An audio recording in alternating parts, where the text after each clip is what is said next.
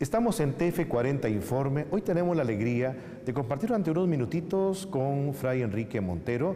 Él es obispo designado para la diócesis de San Isidro de General. Y bueno, pues tenemos una enorme alegría de compartir con él unos minutitos. Bienvenido, Fray Enrique Montero. Muchas gracias. Eh, es un momento muy bello para mí, diríamos así.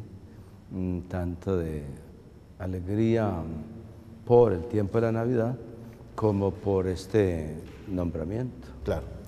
Que mm, algunos dicen que, que es un regalo de Navidad. Yo digo, entonces el regalo fue una catedral. Pero mm, sí, me agradezco que me den esta oportunidad para comunicarme. Fray, usted dice que es un regalo de Navidad, algunos se lo han dicho, otros dicen que es un gran compromiso. En su mensaje justamente al anunciar este, este nombramiento, usted da un, agradecimiento a Dios por la elección, pero también dice, bueno, pues también hay perdón, este, que, que, ciertamente significa esto, algún gran compromiso, y bueno, pues entonces que Dios perdone a los que lo han elegido. Entonces, en este agradecimiento con características de perdón y todo lo demás, ¿qué, qué, cuál sentimiento es el que está en el puro centro de ese gracias y ese perdónalos? Yo creo que es precisamente ese, contraste de sentimientos, digamos así.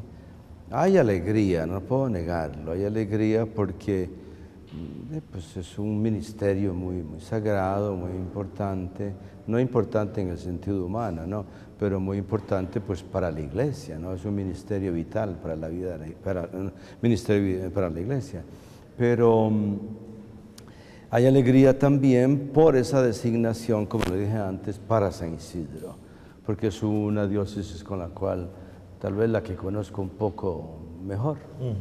Y también con la cual tengo vínculos históricos, afectivos, espirituales mm, muy profundos desde mi juventud de sacerdote. Em, pero no, no se puede evitar el otro aspecto es decir, que lógicamente le están a uno complicando la vida. Después que, mm, que la responsabilidad pues, pues, no es poca, que tampoco yo soy, como lo dije, un quinceañero, ¿verdad? y, y, y, y, después que, que todo eso se enfrenta con la fragilidad humana y la pequeñez humana ante tan grande reto. Yo lo otro lo dije así como broma, por lo que dijo el Papa a los cardenales, y, y, entonces yo decía, bueno, pues tendría que decirle yo lo mismo en este caso, que debe, Dios le perdone. Pero era más bien una broma, porque en el fondo lo que expresa es esa preocupación por hasta qué punto va uno a poder responder al reto tan grande que se le está dando. Claro. Yo confío en Dios y estoy, creo yo, bastante sereno con respecto a... Usted es sucesor de Monseñor Quesada, luego Monseñor Trejos, ahora Monseñor Loría, han sido grandes hombres, han aportado lo mejor de a la diócesis. Y usted además en su mensaje ha dicho que quiere inspirarse además en obispos mártires, San Ignacio, San Josafat, Monseñor Romero. Eh, ¿Cuál es ese matiz del obispo testigo, del obispo mártir para usted más importante y por qué justamente ha elegido obispos mártires? Bueno, yo creo que por una parte el obispo, como lo dije allí antes, el obispo mm, tiene que ser mártir, em, sea que un día dé la vida físicamente o, que la dé en otros sentidos. Para mí es clave este texto de San Juan 10, donde eh, el buen pastor da la vida por sus ovejas. Y yo nunca, como sacerdote, nunca he podido imaginar otra cosa. Que el sacerdocio es una vocación tal, y con más razón el obispo, que tiene que dar su vida en la manera en que Dios lo quiera, aunque si llegara el momento de darla físicamente, eso es esencial al servicio ministerial en la iglesia eh, y, y, por tanto mucho más en un obispo. Mártires, ¿por qué? Porque yo considero que el mártir es el verdadero testimonio, incluso aquel que muere físicamente, es decir, no que muere, que da su vida, eh, para mí es eh, el verdadero testimonio, por eso la palabra coincide, ¿verdad? En martirio y, testimonio. Em, es creíble, es creíble el testimonio de aquel que está dispuesto a dar su vida por las ovejas. Y yo sé que el ser obispo aquí en Costa Rica va a traer, va a traer eso. Por un lado o por otro, habrá, habrá que sufrir. Y sin sufrimiento, estoy convencido, no se logra absolutamente nada. Yo escogí esos tres un poco por recorrer la historia, ¿no? de los orígenes de la iglesia hasta el siglo XVII, XVI, XVII, hasta nuestros días. Yo creo que cada uno tiene a su manera todo un bagaje de cosas que enseñarle a uno y ciertamente como protectores siempre me han sido, em, siempre me han sido de admiración y ahora me servirán, espero, de ejemplo, ¿no? de, de, ¿cómo sea? de modelos para, la, para el ministerio. A mí me consta que en la diócesis de San Isidro hay un laicado extraordinario, un clero muy trabajador, y el Papa ha venido hablando de esa famosa expresión del pastor como olor a oveja. ¿Cómo, ¿Cómo, podríamos nosotros percibir su actitud de frente a ese clero, a esos laicos, a la luz de esa frase del Papa? Yo la veo básicamente como cercanía. Eh, el Papa utiliza eso como un simple símil, de decir olor a oveja, pero hay que, yo creo que hay que interpretarlo diciendo, eh, tenemos que estar de tal manera inmersos en la vida de la gente, en la vida del pueblo, que, que nos, mm, se nos pegue el olor. Y, yo creo que él, conociéndolo en su pensamiento, está hablando particularmente de aquellas ovejas, de aquellos ambientes que nos son menos placenteros, que, que, son las, más Las periferias que dice Exacto, de las periferias de que habla tanto él. Porque ya, de, hecho, mm, como sacerdotes y obispos, eh, parece que nos cuesta más identificarnos con esos ambientes y con esas personas. Yo esperaría, ¿no? Yo no puedo prometer nada y mucho menos en lo que no voy a cumplir, pero yo esperaría y con la ayuda de Dios de que eso significa para mí esa cercanía, ese compenetrarse con la vida de la gente, particularmente esos ambientes o personas donde es más difícil llegar como pastor. Claro.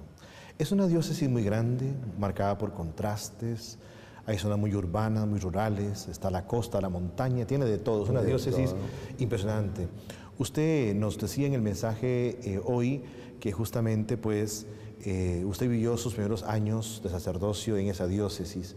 Aunque ha estado un tiempo sin volver allí, la conoce perfectamente, de lado a lado prácticamente. ¿Qué siente usted que puede aportar a esa diócesis? Su gran reto, su gran desafío de cara a la diócesis de San Isidro. Bueno, de momento lo que más me duele es esa situación de pobreza que vive la diócesis. Mm, eh, pensar en esos miles y miles y miles de gentes Mm, que viven en el límite de la pobreza o más. Mientras que se dice que en Costa Rica llega más o menos al 20% de las familias que son pobres, que viven en la pobreza. En esas zonas, se decía hoy o ayer en La Nación, y llega a 35. 35% de, de, una diócesis, ¿verdad? No todos serán cristianos o católicos, pero no importa. Esos miles y miles y miles de gentes que viven en condiciones de, de pobreza, de verdadera precariedad, precariedad porque yo lo vi en Golfito, lo vi en Ciudad Neily, lo vi en las fincas bananeras. Eh, esa situación de esa gente que apenas sobrevive y a quien la dignidad humana no es que se le rebaja porque no pierden nada de la dignidad humana, sino que no tienen las posibilidades de desarrollarse como cualquier humano, eh, ser humano tendría y debe tener esas posibilidades, allá las ves negadas. Desde ese punto de vista, la pobreza de la gente aunque si no es responsabilidad única, ni yo diría ni siquiera primera del obispo, toda la situación material, la primera responsabilidad del gobierno. Claro. Pero como pastor yo creo que, que tiene que tocarle a uno, tiene que moverlo a hacer algo, si es que algo se puede hacer, y yo creo que sí, por eso. Ahora, recientemente los periódicos hablaron justamente de la situación dramática de la zona sur, y el vicario de Pastoral Social de la Diócesis hablaba también del tema muy fuerte, ¿Se puede esperar de la Iglesia Católica que peregrina en San Isidro una voz más clara en favor de los más pobres? No conozco mucho el ministerio de Monseñor Loría porque he estado fuera todos esos años. Em, no he tenido oportunidad, pero creo que la voy a tener, mm, de ver qué se ha hecho, qué se ha dicho. Yo recuerdo que Monseñor Trejos pues, fue muy profético, muy claro. Y, muy firme en ciertas posiciones, etc.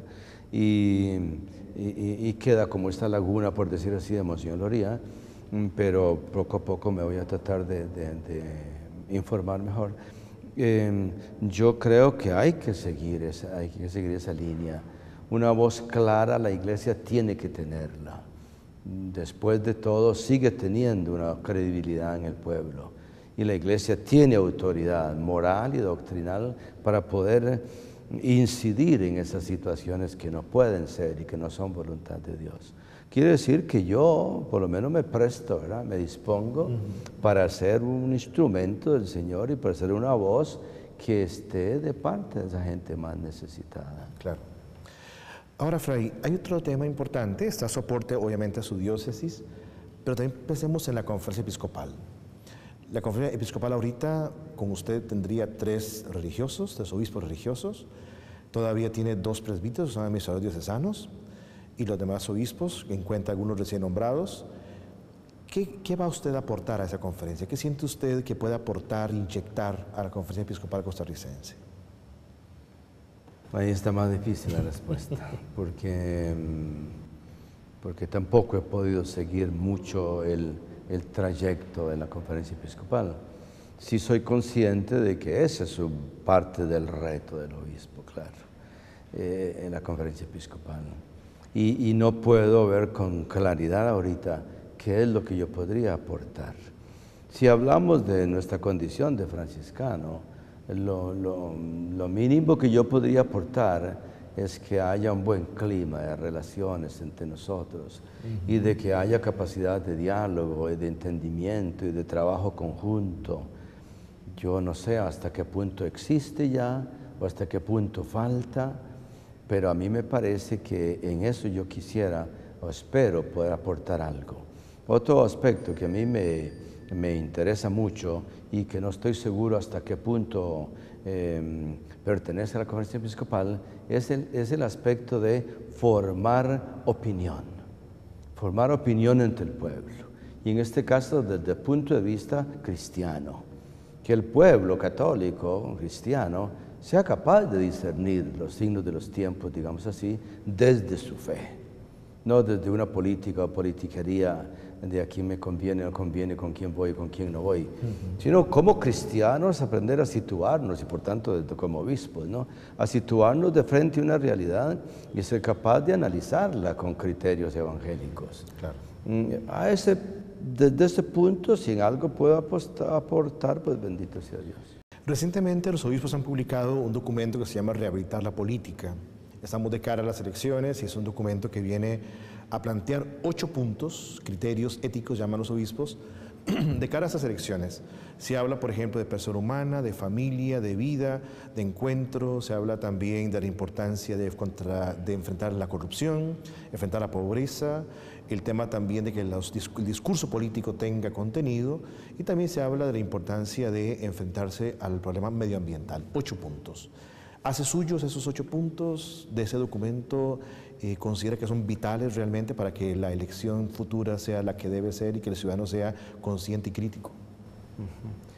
Cuando yo lo leí, no, de ahorita no diría que estar tan seguro eh, de que son instrumentos inmediatos para las próximas elecciones, no porque me parece que falta un poco el aspecto de análisis de la realidad que vive el país en este momento. Pero como documentos de la Iglesia, porque está profundamente basado, basado en documentos de la Iglesia, que tratan, por ejemplo, por tanto de lo social y de lo político, etc., a mí me parece que hay que adherirse totalmente a esos ocho puntos cuánto vaya a influir directamente en unas elecciones que ya están tan cercanas. No sé, porque si se trata de formar un pueblo, eh, eso es cuestión de años y años, ¿verdad? Pero eh, yo estoy seguro que si los obispos y los políticos toman en cuenta esos ocho puntos, que son parte de ese magisterio de la iglesia, por cierto, muy sabio, yo creo que van a tener un gran influjo, si no en estas, en futuras elecciones y sobre todo en el futuro, el futuro compromiso político del costarricense. Para dar a conocer todos esos puntos y otros que han surgido últimamente, el papel de los medios de comunicación católicos ha sido muy importante. Pensemos en el ECO, pensemos en las radios y pensemos en Telefides. ¿Cómo siente usted que el católico debe apoyar, por ejemplo, estos medios de comunicación para que sean lo que deben ser?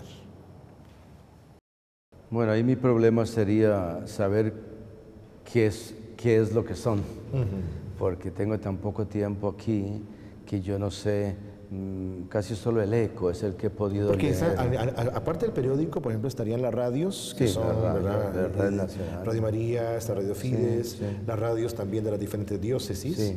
Y aparte de ello, Telefides, ¿verdad? Y hay también un, otro canal católico, ¿verdad? Eh, se llama TV Católica, entonces, este, pero necesitan bastante el apoyo, sobre todo el seguimiento por parte de los fieles. Eso sería como un mensaje suyo para que los fieles se animen a apoyar y fortalecer, porque no solamente la parte de escucha y difusión, también es el apoyo económico incluso.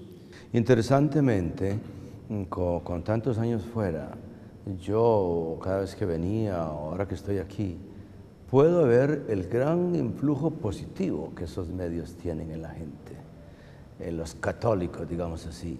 Hoy día yo puedo ver la enorme diferencia entre un católico hace 25 años en Costa Rica o 30 y un católico de hoy. Los que quieren informarse, los que leen esos medios, los que, los que leen el eco, en fin, los que tienen una formación religiosa mucho mayor que la que tenían hace 25 años. Aparte las redes sociales son importantísimas. Ah, sin duda, sí. Pero este, yo lo que decía es que todos esos medios que tiene la iglesia, si el católico y por tanto los obispos, sacerdotes, no nos damos cuenta del enorme valor evangelizador que tienen, pues yo creo que estamos perdiendo la batalla ya de, plano, ¿verdad? Perdiendo la batalla. Hoy son instrumentos esenciales, como lo dicen los papas y todos los documentos, para la evangelización. Y Costa Rica me parece un país... Eh, bendecido en ese sentido, tener una radio católica. Casi en cada diócesis. Casi en cada diócesis, en San Isidro dos. exacto. y a mí me parece eso casi como un lujo, ¿verdad? ¿Por qué? Porque somos un país pequeño y porque la mirada una mirada larga, digamos así, de uno de nuestros obispos, etcétera, y sacerdotes, y llevaron a establecer esas emisoras, que, que la radio sigue siendo un medio poderosísimo que, que la mayoría de la gente eh, puede usar. Entonces yo creo que hay que insistir que, lo, que los católicos apoyemos esos, esos medios. Hasta donde yo he visto hacen un buen trabajo yo quisiera ver en algunos como, como más incisividad en la, en, la, en la, vida del pueblo. Mm, pero, pero yo creo que lo que se hace es extraordinario. Para ir terminando, eh, Fray, yo quisiera como un mensaje final, un mensaje final a todo el pueblo de Dios de San Isidro, a todo el país también, ahora en este día tan importante para usted que ha, recibido este regalo de Navidad.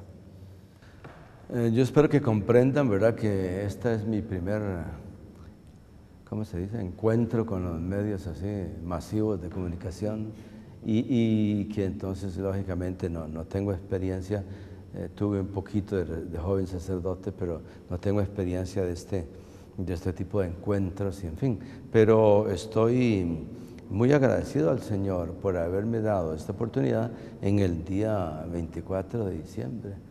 Y, yo mm, lo, ve, lo, que, que quisiera me siento raro decir que estoy hablando al país, estoy hablando aún a la diócesis de San Isidro, pero comprendo que así es, ¿verdad? Los medios te hacen llegar hasta toda esa gente, ya no solo de la diócesis, sino digamos del país. Yo diría prácticamente lo mismo que dije antes en la conferencia de prensa. El católico cristiano, el católico costarricense, yo creo que sigue celebrando la Navidad en general como una cuestión cultural a mí no me parece, lo poco que voy percibiendo, que el católico costarricense celebre la Navidad como un compromiso, un compromiso de vivir su fe a la luz de la encarnación. Siguen siendo otras cosas las que llaman demasiado la atención de la gente, el comprar, el ir y venir, el comer, el beber, el, bailar, el, todo puede estar bien a su medida, pero falta un interés claro en lo que significa vivir la Navidad como cristiano. Por eso yo decía que yo temo que muchos la sigan celebrando como paganos o la sigamos celebrando como paganos. Mi gran mensaje es ese, que nosotros nos empapemos del Señor Jesucristo, que nosotros nos empapemos del Evangelio y de lo que eso significa en la vida diaria, si el Evangelio no es vivido en la vida diaria, aún en las diversiones que hacemos, o en las cosas que compramos, o en las casas que construimos, o en los carros que usamos, yo me pregunto, ¿para qué sirve el Evangelio? Claro. Ese sería mi mensaje, que todos los costarricenses tomemos, católicos, tomemos en, en serio nuestra fe y pues con la ayuda de Dios tratar de vivirlo lo mejor posible. Muchísimas gracias, Fray. Hemos terminado así la conversación con Fray Enrique Montero, obispo designado para San Isidro. Seguimos en Telefides.